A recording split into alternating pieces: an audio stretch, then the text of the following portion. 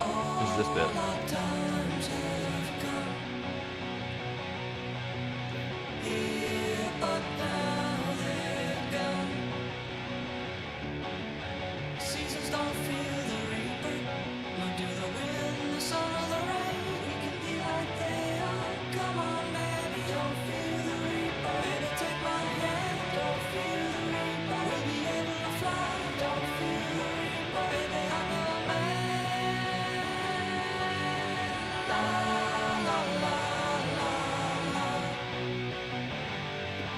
Hold that thought. Keep it going.